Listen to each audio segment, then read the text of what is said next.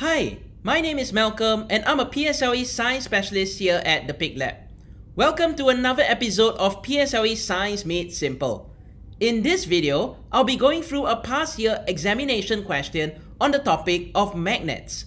I've also prepared this question for you to download for free by clicking a link in the description box below. So, let's get started. Question 18. Which one of the following correctly shows how a magnet will be resting when suspended freely? Now let's imagine when we have a freely suspended magnet, what's going to happen to it? Yes, the magnet is going to spin, but eventually it will come to a stop. Now, when the magnet comes to a stop, it will always rest in which direction? Yes, the magnet will always come to a rest in the north-south direction. So let's write that down it will come to rest in the north-south direction. And just a fun fact, this is actually how the needle of a compass works. The needle of a compass is also a magnet. So because the needle of a compass is a freely suspended magnet, it will always come to rest in a north-south direction. Now taking a look at all four options, we can see that the needle of the compass is going to come to rest in this direction. So we know that this is the north-south direction. We should expect the freely suspended magnet to come to rest too. Now when we take a look at option 1, we know that the freely suspended magnet comes to rest in a downwards direction. Now, is this the same direction as the compass needle?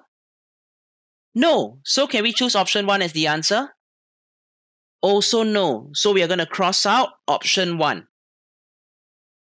Now let's take a look at option 2. Now what is the direction that the freely suspended magnet comes to rest to? We see that the freely suspended magnet comes to rest in this north-south direction. Now is this the same as the compass needle? Yes. So is option 2 correct? Definitely. But let's check the rest of the options to be safe. Now, when we take a look at the magnet in option 3, we can see that the magnet comes to rest in this direction. So, does the magnet in option 3 come to rest in the same direction as the compass needle?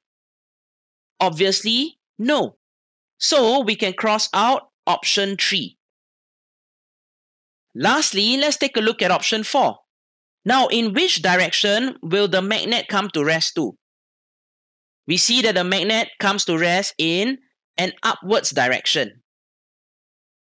Now, is this the same direction that the compass needle comes to rest? No, so option 4 must definitely be wrong. Therefore, the correct answer should be option 2.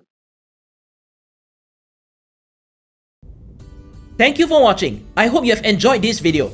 If you found this video useful, do give us a thumbs up. If you'd like to check out more videos by us, do click on the links on the right hand side. Last but not least, don't forget to subscribe to our channel for more interesting videos. Thank you and I'll see you guys next time. Bye!